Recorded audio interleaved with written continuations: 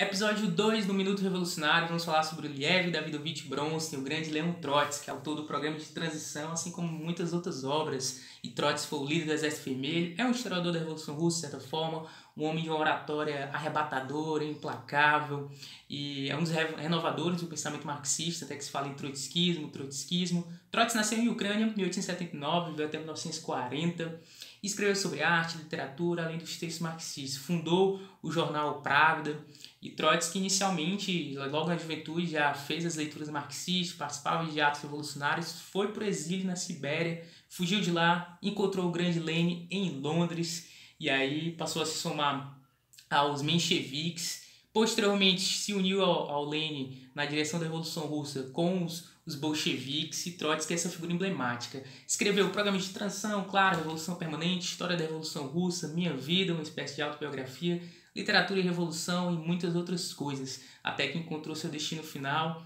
lá no México em 1940 sob as mãos de Ramon Mercader, que estava amando o stalinista. E é isso, deixem um like, se inscrevam, ativem as notificações e valeu!